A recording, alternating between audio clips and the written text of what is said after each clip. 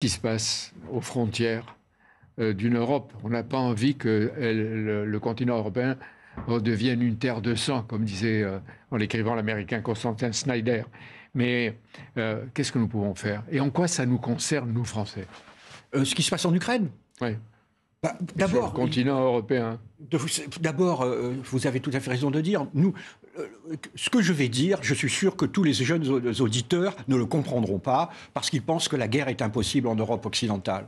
Moi, je pense profondément, je suis né huit ans après la Seconde Guerre mondiale, que la guerre est possible sur notre continent. Et nous l'avons vu d'ailleurs en Yougoslavie.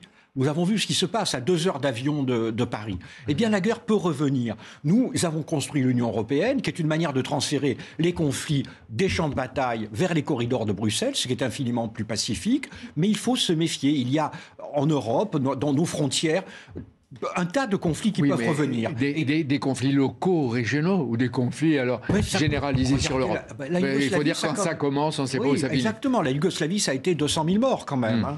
Et euh, la Russie elle est dans l'Europe. C'est le général de Gaulle qui disait de l'Atlantique à l'Oural. Évidemment que la Russie est un pays européen, c'est un pays avec lequel nous devons parler, mais attendez, comme disent les Américains, il faut être deux pour, pour danser le tango.